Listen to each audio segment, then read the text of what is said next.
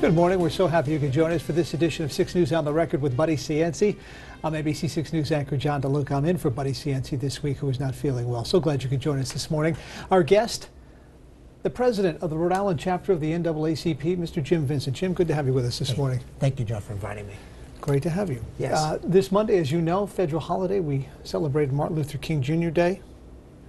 As you look back at this point in your life, when you think of Martin Luther King Jr., you think of that holiday. What are some of the things that come into your life at this point? Well, one of the things that I think about is all the progress that has been made since his death in 1968. You know, I think he would be amazed by some of the progress. I mean, look at what's happened, let's say, in sports. You know, when he was alive, you didn't have black head coaches in the NFL or even black quarterbacks. Uh, in the private sector, you didn't have uh, CEOs of McDonald's, of Xerox, of American Express. Uh, look at in, in the political world. You know, we've had one Secretary of State, we've had two African American Attorney Generals, five U.S. Senators, two black governors, and over 40 black congressmen.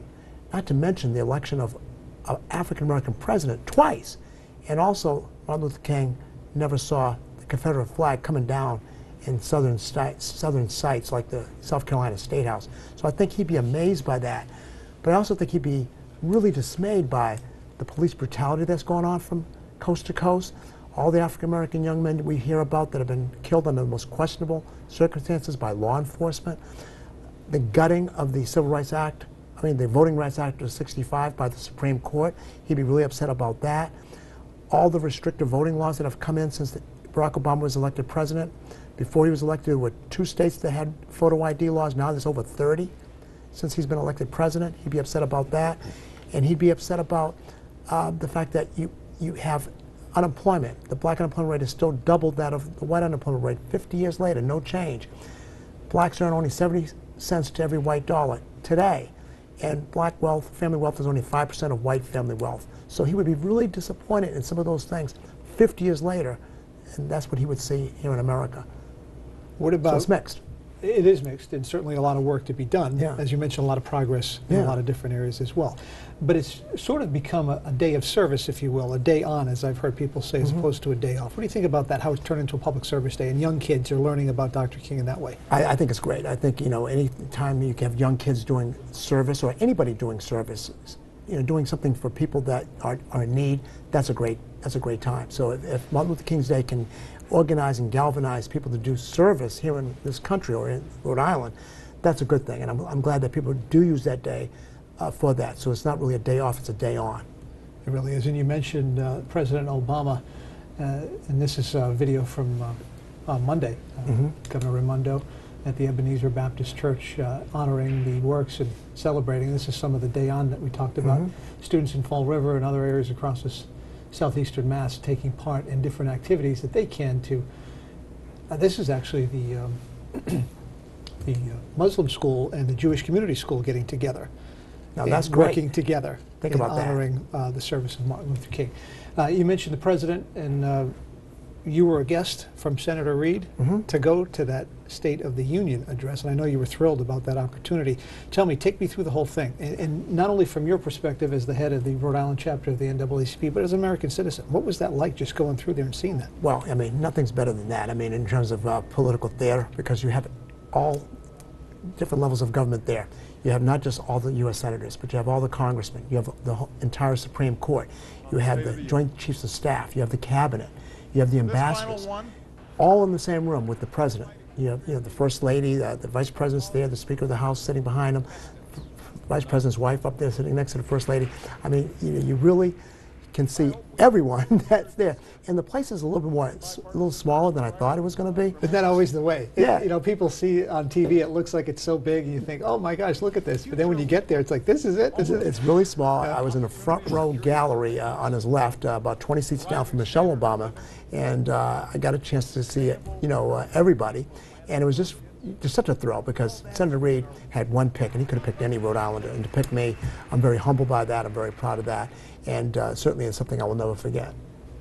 So the speech itself, um, you, what did you take away from what he said? It seemed to me watching, and maybe because it was the last one as, as President Obama, as the president, um, more about what the nation is and what Yeah. it's become and what it can be, as Yeah. opposed to you know, bashing or being negative. What It seemed like it was trying to be an uplifting, positive thing, which a lot of people were critical of. Which I was like, well, there's nothing wrong with the president of the United States saying something good about the Well- American people and in, in, the, in the country. It was very positive. You know, I was amazed by all the things he has accomplished in the last seven years. I mean, think about it. Uh, seven years ago, we were hemorrhaging 800,000 jobs. Uh, we were on the brink of a recession.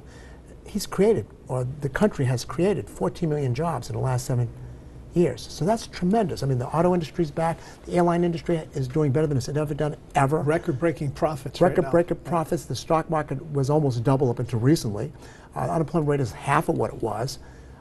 I mean, when you think about some of those things, I mean, that's quite significant, and I think it's going to take a few years from now to really appreciate everything that's happened. But, but also the Affordable Care Act, and also his work on climate change, which is important. And we got a storm that's probably we're digging out from this morning, and also the Iran uh, deal in terms of uh, the nuclear weapons. I mean, so he's he's been busy. You know, that's a lot, I think, in seven years by any uh, fair uh, observation. So I was taken uh, uh, to the fact that he's done quite a bit.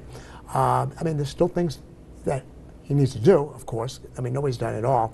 But one thing I did notice that it's very partisan in that place. You know, the Democrats were cheering everything he said, and that's good because a lot of that stuff was good. But the Republicans, some Republicans refused to cheer anything. I mean, I really thought when he said we need to find a cure for cancer, Yeah. I thought they would cheer for against that? They, they didn't cheer for that. And then he said, America's the greatest country in the world. They didn't cheer for that. So I kind of saw how. So you noticed I kind of saw how. Kinda hands on the hips. Yeah, I mean, if you can't cheer for cancer, uh, uh, uh, a cure for cancer, if you can't cheer that America is the greatest country in the world, then I really don't see them working with him on anything. You know? Well, well, there is, there are, you're right. There are some folks who just bipartisan is not in, they don't have that club in the bag. And, and maybe because it is an election year, they don't want to be seen as the guy or the woman who's clapping for something and that'll be used against them in a race or who knows how people Someone's going to use uh, you clapping for a cure for cancer. You wouldn't think you? so, but you never know how it would be. I'm trying Really? to, I'm just trying to think of things In America? as, to, as to what it would be. That- that's interesting. Anything, Jim, that you didn't hear that you wish maybe you did hear? Yeah, maybe more about you know the uh, I, I mentioned the uh, the uh, killing of young black men across the country under the most questionable circumstances imaginable. about in some police, cases. law enforcement. Police, law enforcement, and, and, and how we get a better handle on that because that's a major domestic problem. Uh, police brutality. I mean, the world. I mean, at the United Nations is talking about America saying, how dare they talk about human rights ab- abuses when they treat their black citizens still in 2015, 2016 the way they do.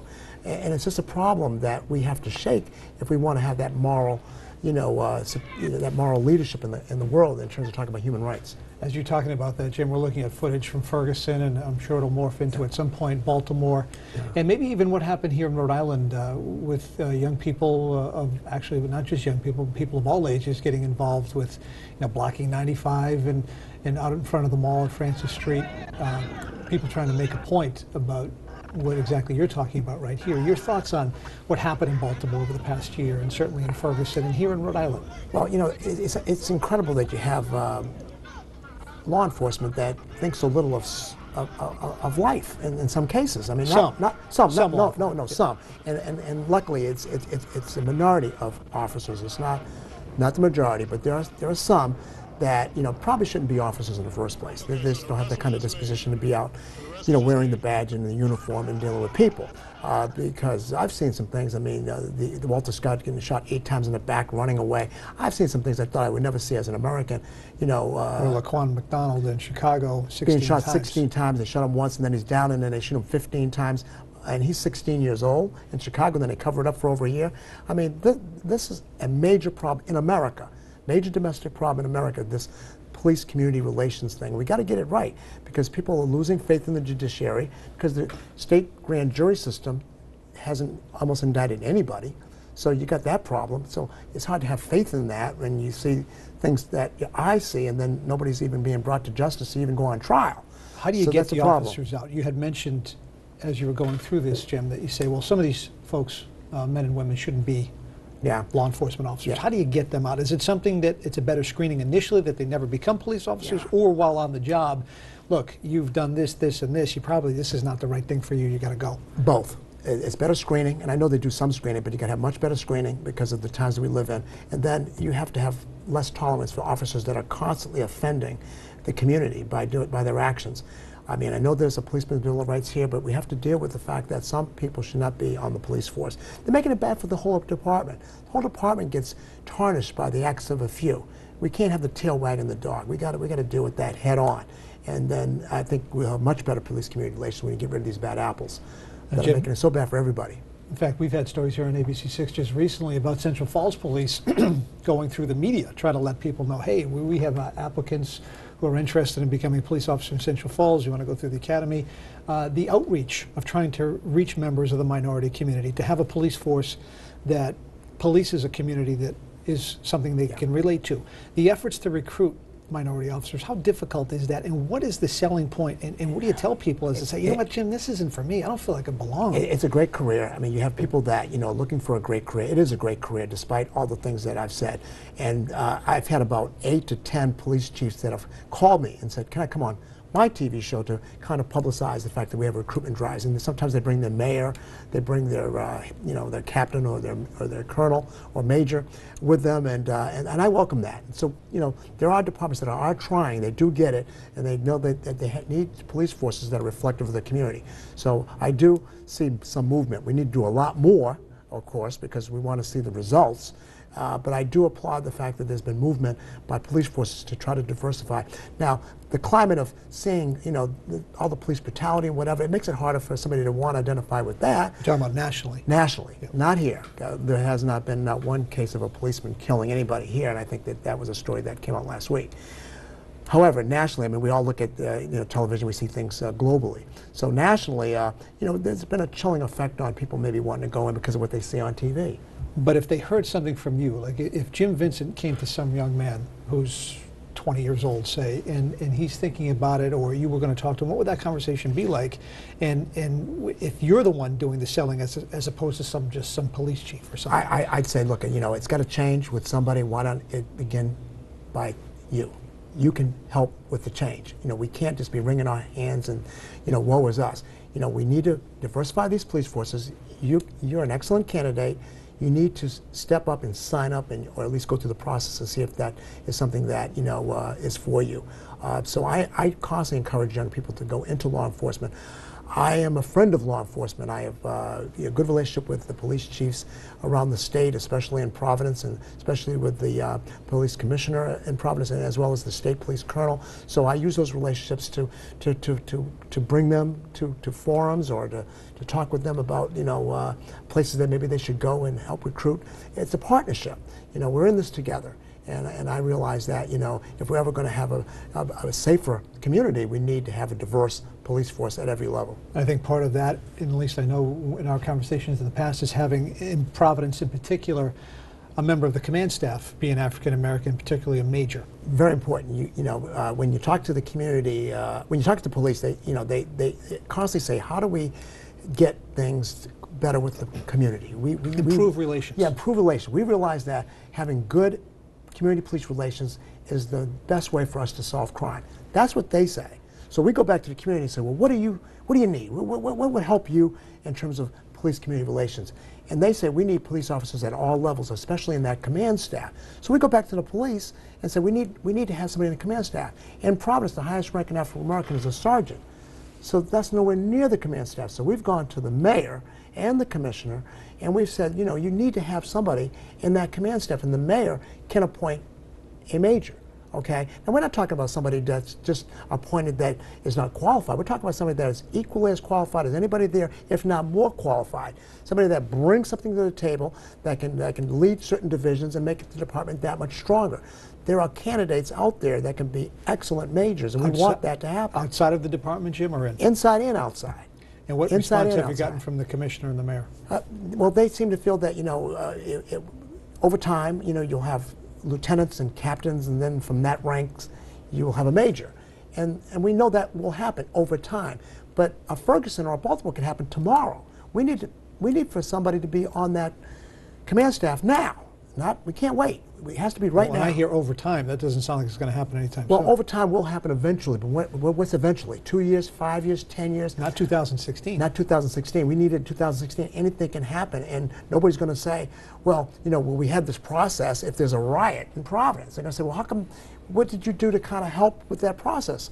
And I'm saying that you need to have that African American and other people of color in the command staff to help navigate that process. We saw in Ferguson when the state police of Missouri sent that captain in to help with that situation because the police force in Ferguson had nobody in command. Only then did the situation begin to be- become a little more uh, sustainable in terms of the, the peace and the tranquility of the community because he knew that community, he knew how to deal with it. He was in command and he went in and took and took charge. People listened to him. And they listened to him because he could relate to him. We need someone like that in Providence. And we don't have that in the Providence Police Department. We need it. We need that black major. We need it today. All right, we're going to take a break. We're going to catch our breath. We come back more with Jim Vincent talking about the Oscars and the lack of diversity this year's nominees. We'll be right back.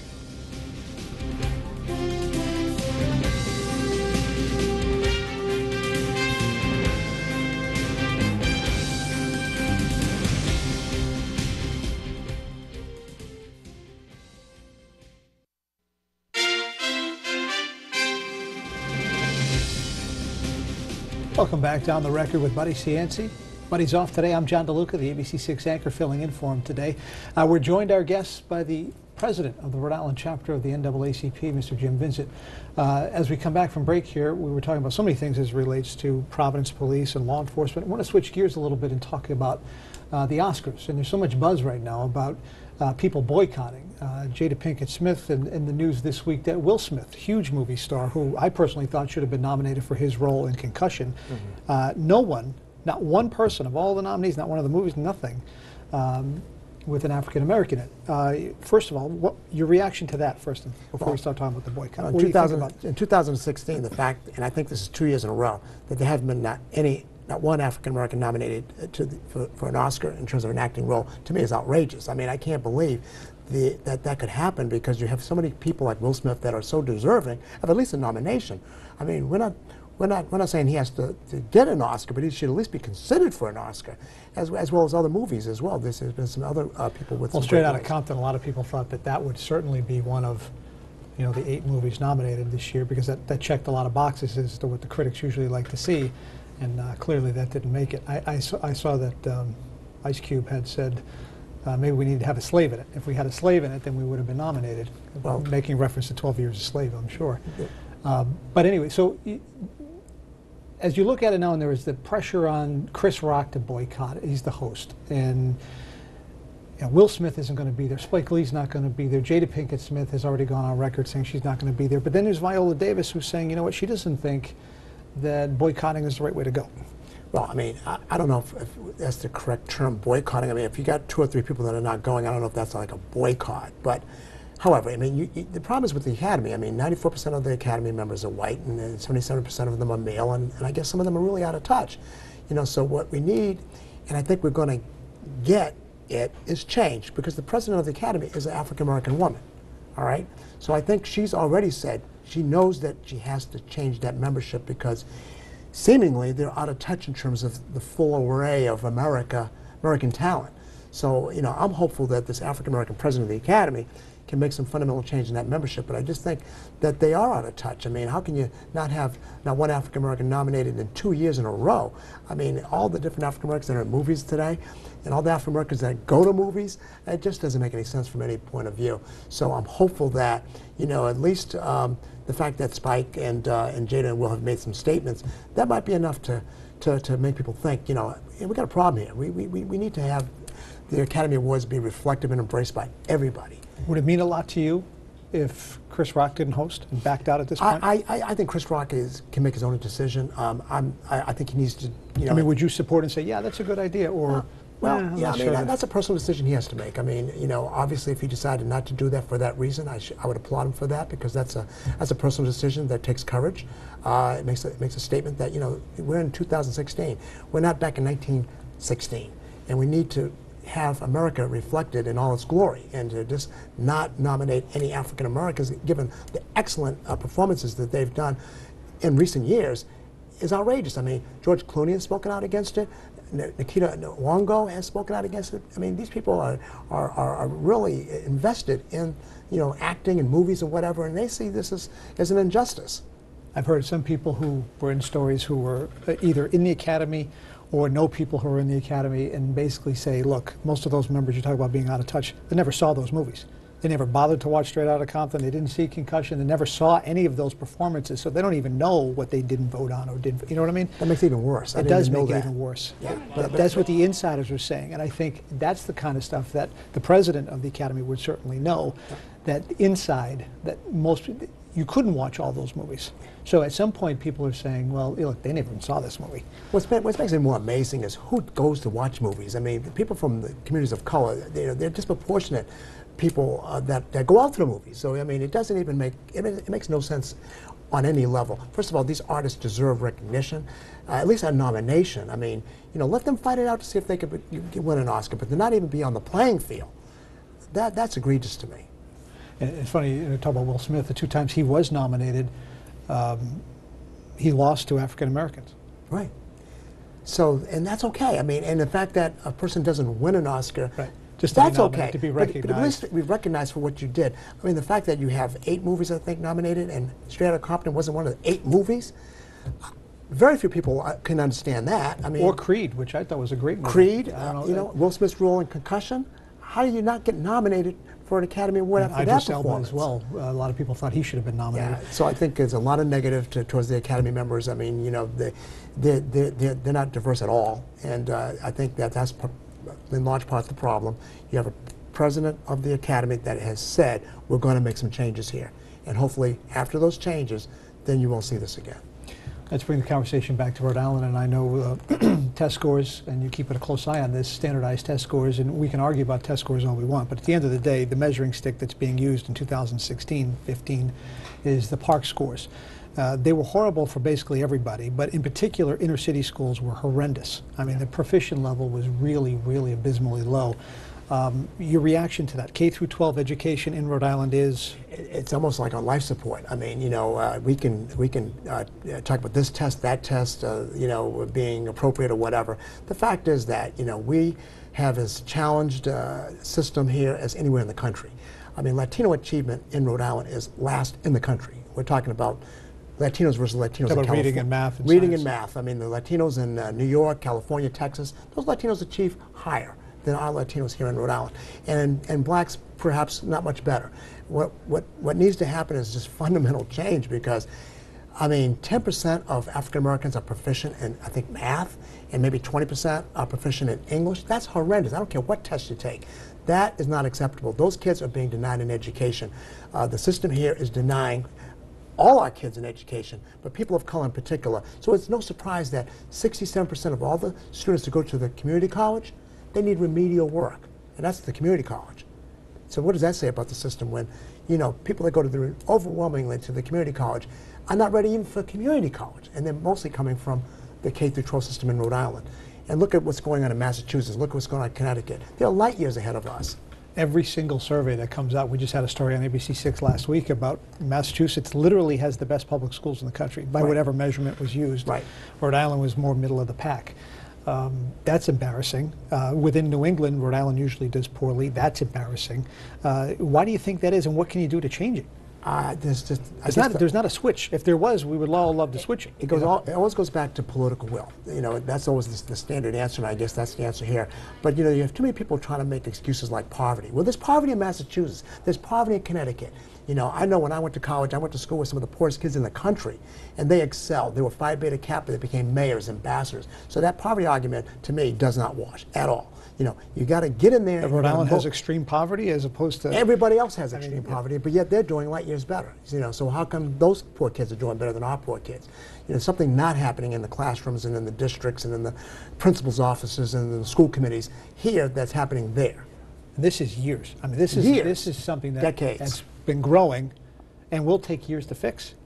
I mean, let's be honest. Hopefully I mean, this is years to fix. But I'm. I'm saying right now, if you're an 11th grader, if you're some kid at say Shea or in Woonsocket or or what, if you're struggling right now, they're not going to fix anything for you Yeah. between now and when you graduate. It's not going to happen. Yeah. See, I'm from Massachusetts. I think uh, most Rhode Islanders know that the system is bad, but it's really worse than they think. The system here is much worse than people think. I, I feel. As we go into 2016, here we are in January. We've got the governor's state of the state coming up. What are some of the things you'll be looking to hear in that message uh, when you see the governor up there uh, addressing the General Assembly? Well, you know, I, I, I want the governor to succeed, of course, you know, and we need to have jobs. You know, if we're going to uh, have a better uh, uh, state, then we have to have a better economy. We have to grow our way out. That K through 12 system is a big factor in that because jobs come to places where there are people that are trained, educated, and motivated. So if you have a trained, educated, motivated labor force, they're going to come. We have too much of a skills gap in too many areas here. So we're going to have to do something in terms of educating and getting our labor force ready. So hopefully, and I know she's working on that, hopefully as we're working on that, we can attract some businesses to come, expand the economy, more opportunity, especially in communities of color where unemployment rates are like at 40% in some areas. And I did say 40, 4 0, yes. okay? Astronomical unemployment. 25% of the state is state of uh, uh, are people of color. If we don't do something with that, then our state's going nowhere. Period. It's too large a group. It's one fourth of our state and growing. There's no way we can grow our way out of it if we don't do anything with that group. It's impossible. The math won't work. That dog don't hunt. Jim, we have less than a minute left. Uh, what specifically is the NAACP focused on this year in 2016? Well, we're really uh, focusing on uh, several bills. One bill would uh, reduce the out-of-school suspension of kids. Uh, we have uh, an ACLU study that said that uh, kids of color, especially African Americans, are suspended three times, four times, five times more than white students for the same offense out of school. Being out of school helps no one. Doesn't help the kid, doesn't help the family, doesn't help the community, doesn't help our state. We got to make sure we minimize that in cases that are, you know, uh, discretionary. We have to stop that. So I hope that bill passes. And there's other there's gun control bills that need to pass. There's other things in terms of high stakes, stakes testing that needs to be revisited. I'm not in favor of high stakes testing as a graduation requirement. And there's also uh, a num- number of bills that will help with jobs that I, I feel that you know need to be supported. All right. Jim Vincent, thank you so much for joining us for this week's edition of On the Record with Buddy Cianci. Hope you have a great weekend and hope you didn't hurt yourself shoveling.